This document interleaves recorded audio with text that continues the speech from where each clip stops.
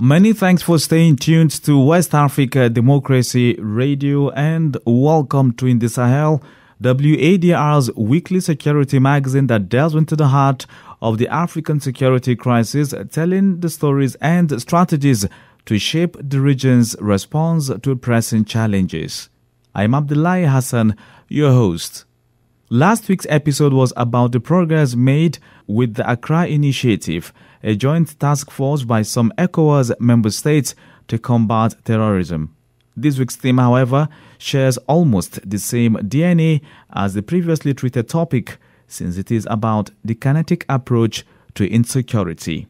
We are asking if the departure of foreign troops from the Sahel improved the security situation in the region? Unfortunately, the uh, answer to that question must be no, it is not. It has not improved. The first reason is that coups, in and of themselves, usher in periods of instability, which means that uh, as the military start playing politics in the capital cities where they stage their coups, the uh, security situation in the countries that they are now supposed to govern get neglected, and therefore it creates a vacuum which is filled in by non-state armed groups. And unfortunately, in the Sahel, that's exactly what's happened in all three countries. There is, however, a divided opinion on this question. With the departure of these international forces, the Malian army now has taken over all the power concerning the uh, situation.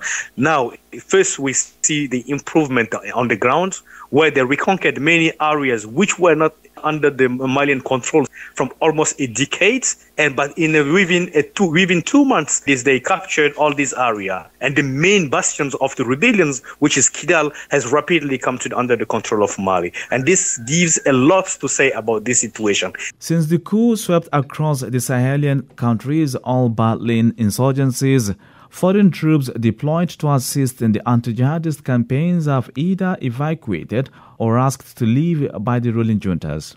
Mali, Burkina Faso, and most recently Niger have cancelled almost all military agreements with Western allies with supposedly strong know-how or capabilities.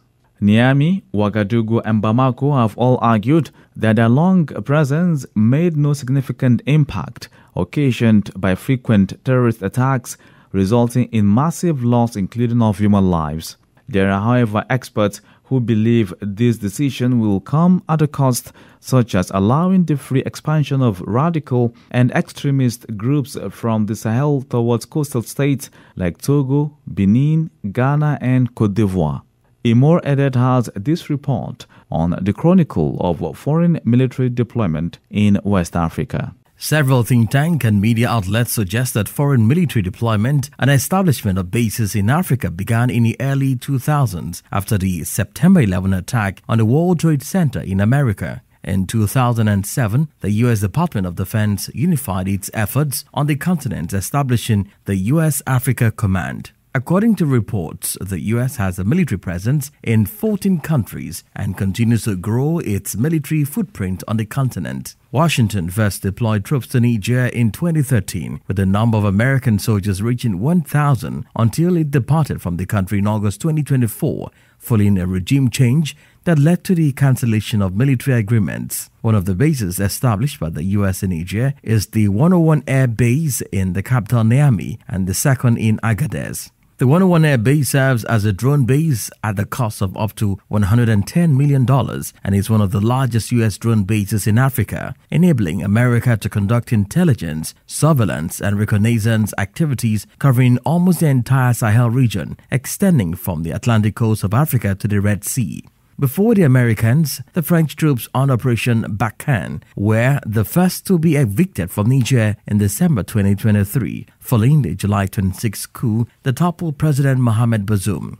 German troops, among other European Union member states, to have contributed to the counterterrorism campaign in the Sahel, also made their way out, citing the volatile security situation in the region. Across the border in Burkina Faso, anti-French protests forced France to leave before the junta leader, Captain Ibrahim Traore, would in an official note communicate his request. It should be recalled that Mali began the frenzy of evicting foreign troops when Bamako asked France to pull out. While France finalized the withdrawal of troops, the United Nations Multidimensional Integrated Mission, otherwise known as MINUSMA, terminated its mission to Mali on June 30, 2023, and completed its pullout of thousands of peacekeepers by December of the same year. This is at the request of Malian authorities and adopted by the UN. Germany made its way following the dissolution of MINUSMA. Meanwhile, reports indicate that France still has about 1,000 troops in Chad, 900 in Cote d'Ivoire, 350 in Senegal, and 400 in Gabon. With Russia now the number one ally of Mali, Burkina Faso, and Niger under the AES Confederation, Moscow has an advantage to grow its influence while experts fear a rapid spread of violent and extremist groups in the sub region. Imo Edet reporting there. All Western countries that have deployed troops to Africa, essentially West and Central Africa, did so to stabilize the countries needing support to conduct intelligence, surveillance, and reconnaissance activities. Several jihadist groups operating in this region have for more than a decade launched attacks against military posts and civilian populations. Cumulatively, thousands of people have been killed and millions displaced. Other resulting consequences are food insecurity, disruption of education for thousands of children, lack of access to basic services including health, and the dire humanitarian crisis. For these and many more, the authorities in Mali, Burkina Faso, and Niger believe a foreign military presence failed to achieve the expected results. However, Amnesty International says the decision by the trio has further worsened the human rights situation in the Sahel. Ousmane Diallo is a senior researcher for the Sahel at Amnesty International West and Central Africa Bureau. I think the human rights situation is pretty dire uh, across the Central Sahel if you look at it, because uh, we have seen like this is a continued trend of uh, worsening uh, human rights violations such as unlawful killings and extrajudicial executions that have continued to occur in Mali, Burkina Faso, uh, and done by both parties to the conflict, whether government forces and their proxies, or some of the armed groups, such as the Group for the uh, Support of Islam and Muslims and the Islamic State in the Sahel province. These past few weeks, you have seen uh, probably the case for the killings of uh, civilians in Barsalogho in Burkina Faso, in which, according to some local reports, civilians that were digging trenches uh, to support uh, the uh, war effort were killed uh, during an attack by the uh, Group for the Support of Islam and Muslims.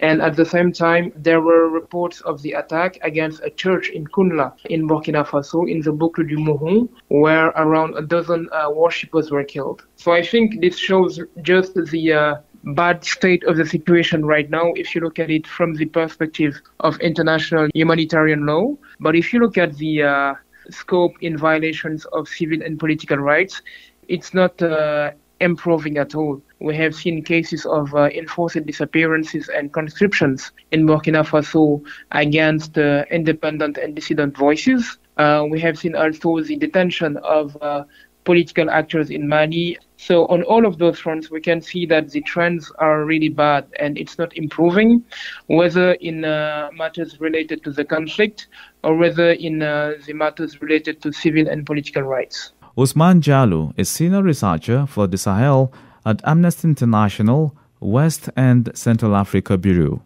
Bram Posthumus, a journalist versatile with the Sahel region, says security has only deteriorated given the local, social, and political dynamics in the respective countries. As to the question that you posed, is the security situation better? Unfortunately, the answer to that question must be no, it is not. It has not improved uh, for two reasons. The first reason is that coups, in and of themselves, usher in periods of instability, which means that uh, as the military start playing politics in the capital cities where they stage their coups, the uh, security situation in the countries that they are now supposed to govern get neglected.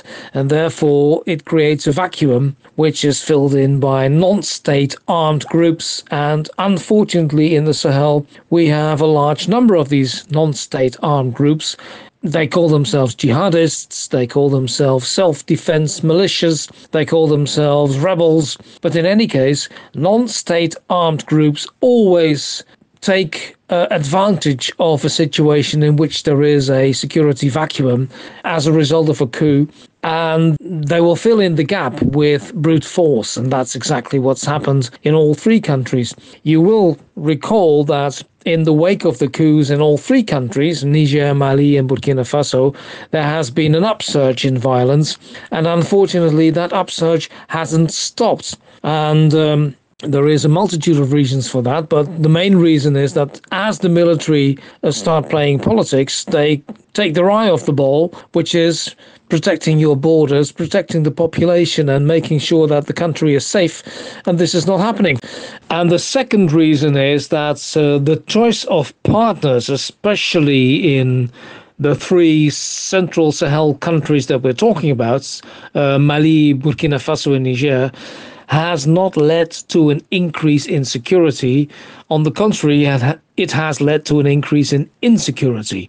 And the reason for this is that the Russian mercenaries that were brought in to help the juntas supposedly restore stability and, and, and restore order do the exact opposite. They act with complete impunity, are not accountable to anyone, cannot be held accountable to anyone, not even the authorities in the countries where they operate, and especially they create situations of uh, vengeance once again because once crimes that they commit go unpunished, the people will revolt and the people will respond. And this is exactly what we saw on the border between Mali and Algeria when there was the Tuareg rebel force that exacted revenge on both the Wagner mercenary force and their Malian partners in revenge of what they did after the capture of Kidal in November 2023, when they went on a rampage in the north and committed the most egregious human rights abuses, which never went punished. And this was one of the first invoices, if you like, that have come in,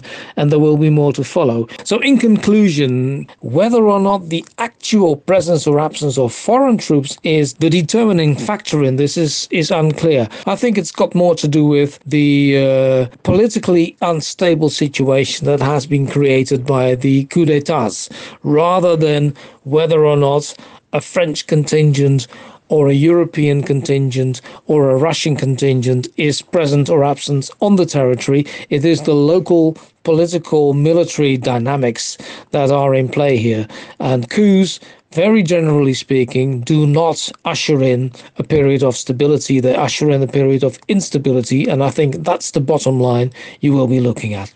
Bram Posthumus is a journalist with vast knowledge on the Sahel region.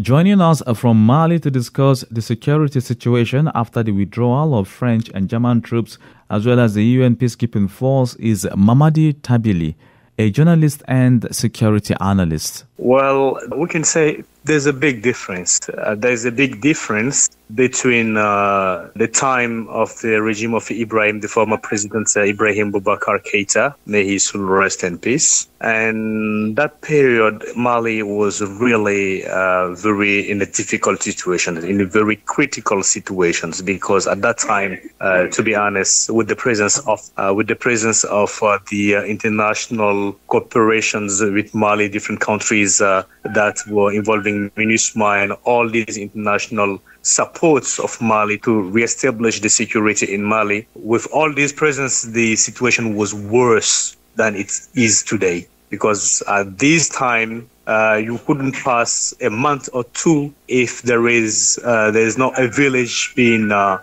burned up or being uh, attacked where you can where you heard about like uh, 100 people killed 50 people killed every two weeks or three, you will hear such a large amount going from 10 to 20 people killed in the village. So that was permanent in the Malians' daily life. So people were kind of fed up. And that's this situation that also brought the Malian populations to uh, revolt against the presence of all these. And that is the, the situation that even irritate all the population of Mali. Why? Because they just said, how come with such an amount of group of people, estimated about 3,000 people, like a group of terrorists, being defeating a whole country because we knew Mali was not well equipped. And this problem happened to Mali. Of course, a whole country, while Mali is disarmed and they cannot fight the terrorism, of course. But how come Mali, including all these foreign presence with these uh, very powerful country,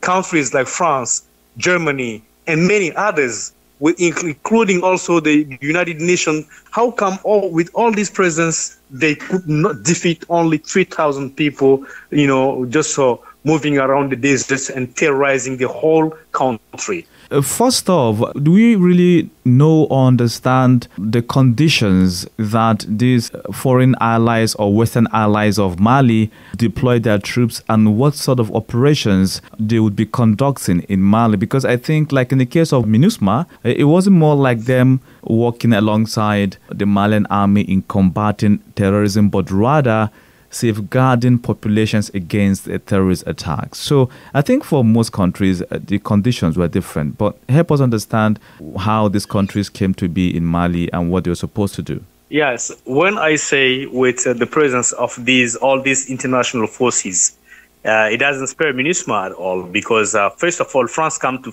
fight the terrorism just you know we fight terrorism here in Mali in the Sahel generally to avoid the terrorism to increase and cross the border reach the European countries. That's one thing. So they're here with the against allied with the Malians to fight the terrorism, not to maintain peace or not to stop uh, terrorism to attack villages or whatever. These these are the presence of France and other countries, Europeans. But MINUSMA they are also here to safeguard the populations and to stop the people, uh, stop the terrorists to attack populations, is to protect the populations. But still, also there we don't have any results. Was no, there were no benefits. I mean, these mandates of the MINUSMA uh, were not uh, really uh, matching with the uh, with the needs of the Malian populations. So they were need to change maybe their mandate, which never happens up to their departure.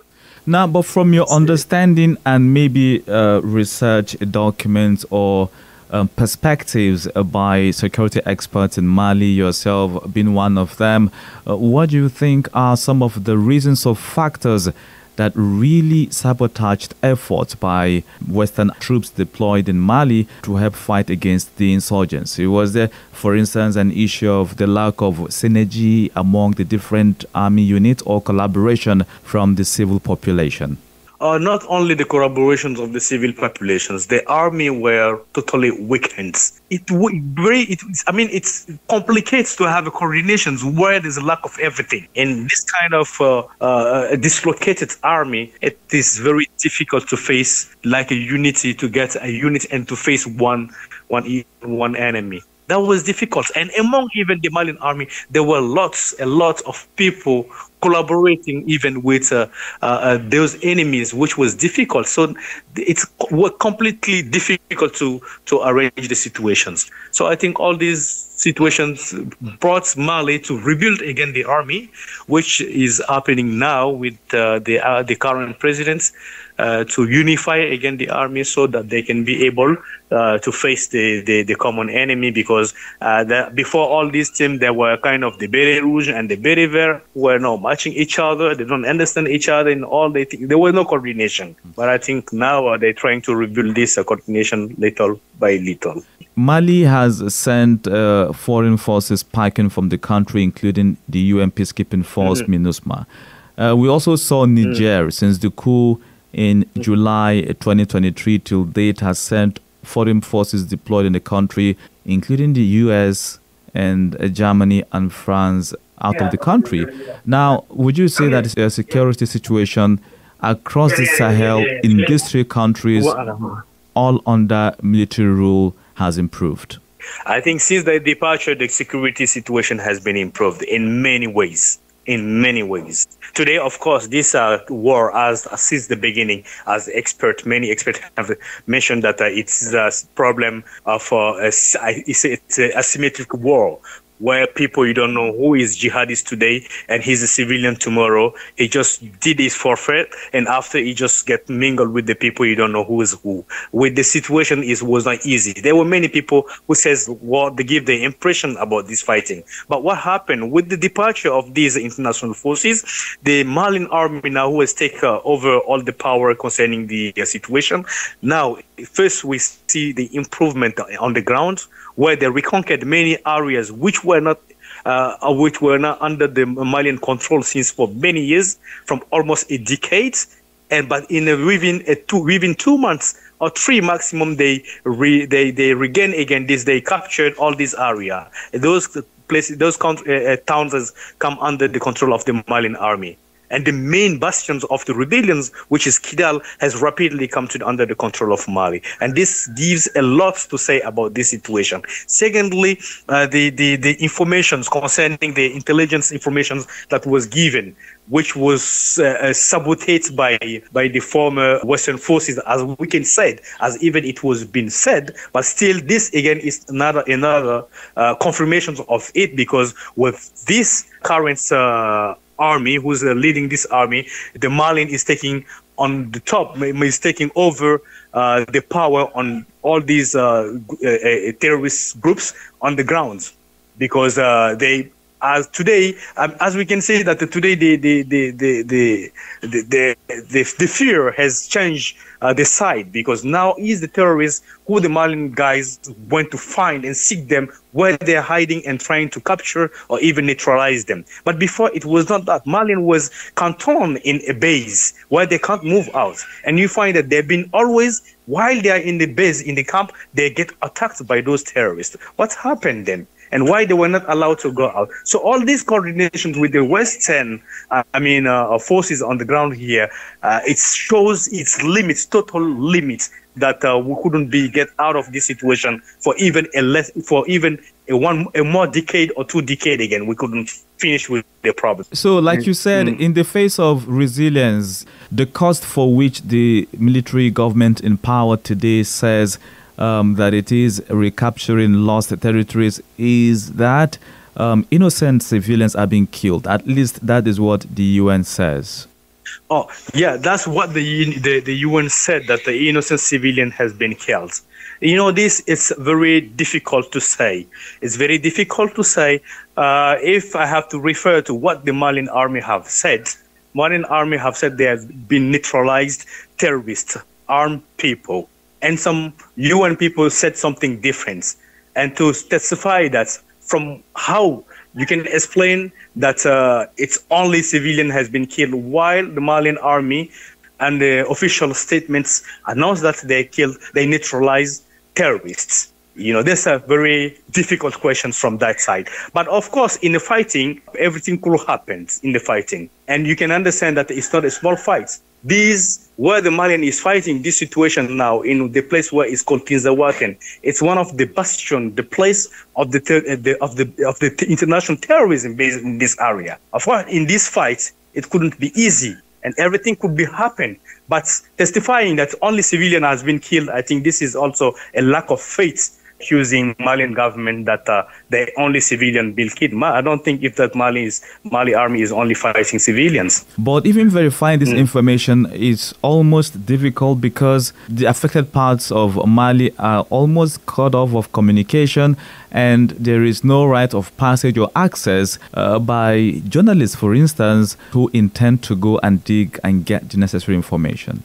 Ah, concerning the information, concerning going there to get the information in this, I think this it depends on the army, the control of the army army isn't fighting in an area which is very quite dangerous. Of course, there could be uh, journalists who would like to go there because for Malian journalists, I don't think they forbid any Malian journalists to go there or to go in the north to cover whatever they wanted to cover. I don't think that this is not officially. It's only foreign journalists. It's set for the foreign journalists, and for the foreign journalists also, it doesn't happen today. This happened since 2020 before any kind of exaction or whatever they said that the Malian army has done, which of none of them would happen before. But since then, the international journalists have been, uh, uh, uh, there's no accreditation for those who can go come in Mali and travel. And it's not even journalists. I think for the moment, for the security reason, Mali even there's a kind of a restriction to enter in the country. People can enter in the country, but for the security reason, there are many things which is not so easier as before. And this is the general security of the country. But for the Malian journalists who works, they think they can go to the north, and they, they cover. They didn't forbid no one to do so. Mamadi Tabil is a Malian journalist and security analyst. This is where we wrap up on today's episode of In the Sahel. WADR's security program aiming to tell the African security crisis the African way. Thank you for listening, and many thanks to my guests and colleagues for their contributions. Join this frequency 94.9 FM West Africa Democracy Radio every Friday at 7:30 a.m. and the same day at 6:30 p.m. for the rebroadcast. I'm Abdullahi Hassan. It's a bye for now.